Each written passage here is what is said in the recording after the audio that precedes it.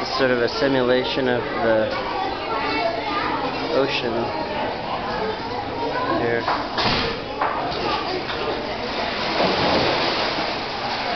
It's pretty cool.